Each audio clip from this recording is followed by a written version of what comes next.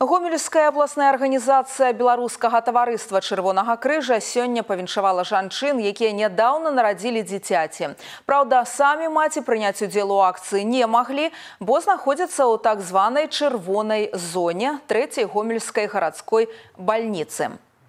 Сёння ва ўстанове жанчыну з усёй вобласці. У кожнай захворвання на каронавірус. Некаторыя яшчэ нават не бачылі сваіх дзяцей. Супрацоўнікі чырвонага крыжа праз работнікаў установы перадаюць ім падарункі і пажаданні хуткага выздараўлення.